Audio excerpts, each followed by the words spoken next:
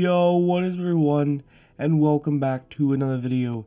In this video, I want to go over how to create this really cool freeze frame transition. Now, I've made like four or five videos on different um, freeze frame transitions, but in this video, I want to go over or cover the very basics of a freeze frame transition right here.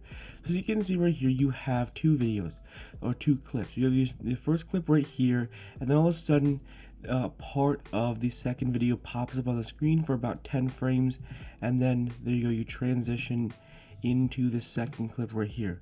So I'm just going to go over how to create this very basic um, effect and of course you can watch some of my other freeze frame um, videos or different effects so you can kind of spice it up a little bit. But in this video I just want to go over the very very um, basics of how to create this freeze frame effect because I'm sure there are tons of people that probably don't even know the, how to create even like the basic freeze frame effects instead of coming and instead of making tons of videos about like super advanced effects I thought why not just make a very simple um, uh, tutorial on kind of the very basics of a freeze frame effect.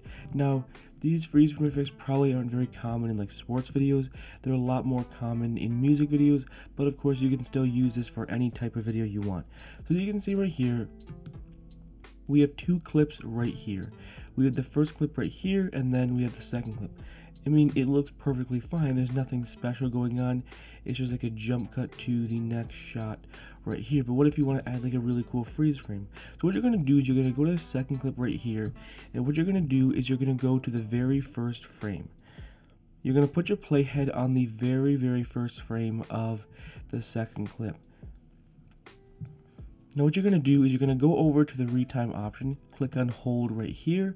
So remember, you're just freezing the first frame of the second clip. Now you're going to go over, scroll over, and the this part, this orange part is the freeze frame, and this green part is the normal video right here. Now what you're going to do is you're going to go frame by frame, and you want to cut it right in between the normal speed and the freeze frame right there. As you can see right here, here's the freeze frame, and then here is the normal clip right here. You do not want the normal clip on top of the first video right here. Okay, so let's go over here, and now what you're going to do is you're going to take the freeze frame effect, and basically what you're going to do is you're going to make it to be about 10 frames. I think 10 frames is probably pretty much universally accepted uh, when it comes to freeze frame transitions. Uh, like 3, 4, 5 doesn't really hold for that long. Um, but so let's go ahead as you can see right here, you don't want any of that green. You only want the orange because the orange is the freeze frame right there. So as you can see right there, there we go. Now this is being held for 10 frames right here. So let's go ahead and play the effect right here. And this is what it looks like right here. There we go. You basically have the first frame of the second clip frozen. And there you go. So to kind of go over it again, let's go like this. So let's go. So ready? So I'll go like this. So we'll go the freeze frame. So we'll go one. So we'll go one two three four five six seven eight nine ten. And then there you go. So as you can see right here the first frame in the second clip this is this uh, freeze frame is a frozen frame the first frozen frame of uh, the second clip right here. So little as you can see right here nothing changes nothing changes. And then we'll go to the first frame and then all of a sudden it start changes. But if we go to the beginning go back nothing happens. As you can see the first frame the second clip and this freeze frame are the exact same frame. And then there you go. You go into the next clip right here. Now what you're going to do next is now comes the fun part of a draw mask. You can't do this. Just in case you were wondering you can't do this um, without a draw mask it is uh, literally impossible. So yes if you've never done masking masking before this may be your first time um, trying a draw mask. Don't worry it's not as scary as maybe some people may think it is. It's definitely very time consuming and if you've never done it before it uh, creating a draw mask is no doubt very daunting if you've never um, uh, made a draw mask before. So I'm just gonna do one of the worst selections you've ever seen probably ever uh, to get the basics of it.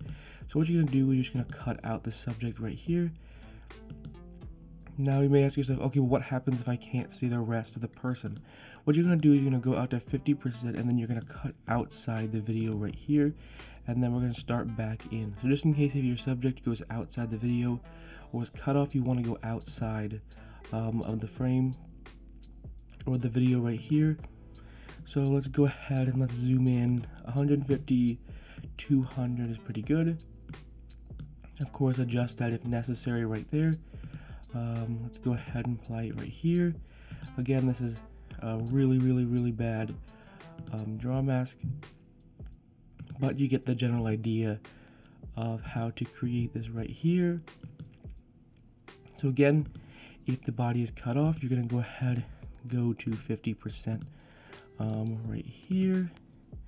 And we're just gonna continue on um, with the draw mask right here. Again, it's definitely very daunting if you've never done a draw mask before, but you'll get used to it after a while. So once you have the subject cut out right here, what you can do is you can mess with the feather right here, or you can make it look like that. Basically what the feathering does um, and the fall off, it basically what it does is it it helps smooth out the edges. So if you have really sharp edges, you can kind of feather it in or feather it out.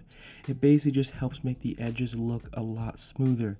And quite frankly, that's literally it. That's all you have to do to create um, this really cool freeze frame effect right here. So let's go ahead and play the video right here. So as you can see right there, there you go. You have created a very simple and very easy freeze frame effect right there. That's literally all it takes and of course you can add a whole bunch of things. I've done like a panning freeze frame, a pop-in freeze frame, a sliding freeze frame, a glowing freeze frame. There are a whole bunch of different things you can do with this freeze frame effect right here. But that's literally the basics of how to create a freeze frame in Final Cut Pro 10. So again, all you need is two clips. You go to the first frame of your second clip, go to the freeze frame. You want to then you cut up the video, and then you place the freeze frame on top of the first video. You want to make sure it's about 10 frames long. Then you take a draw mask, and you just take the draw mask and cut out the person right here. No draw mask, and there you go. All you gotta do is just put the draw mask um, around the person. That's pretty much as simple as it is. And then of course you can adjust the feather and fall off um, if you want. But that at, at, its core is the very basics um, of a freeze frame transition. So yes, it does require a draw mask if you've never done a draw mask before. Again, it's very daunting and it can definitely take a long time to get rid of the first time I tried to use a draw mask was not very good. So don't worry, it takes a lot. It takes a lot of time and takes a lot of practice to start getting really good at. Obviously, I'm not perfect at, at, cut, at cutouts yet, but I've definitely become, definitely got a lot better than when I first used draw mask. So don't worry, it's very daunting, takes a long time, but eventually you'll get used to it and you'll probably really enjoy using a draw mask. It's definitely a lot of fun once you understand the basics. If you want to watch a whole bunch, I made a whole bunch of other videos on freeze frames. So if you want to watch it and get a little more advanced with um, uh, your freeze frame transitions, uh, a couple of the big ones that I made are the, like I said before, the sliding one, the popping, panning, and freezing are four of the biggest ones I've made. So definitely go ahead and check them out if you want to get a little more advanced.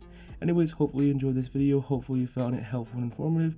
If you're new to this channel, I upload Final Cut Pro 10 tutorials every day at 10 a.m. Eastern Standard Time. So if you enjoy these types of videos, consider hitting that subscribe button. I also have Final Cut Pro 10 tutorial playlist with over 140 Final Cut Pro 10 tutorials. See you in the next one. Peace.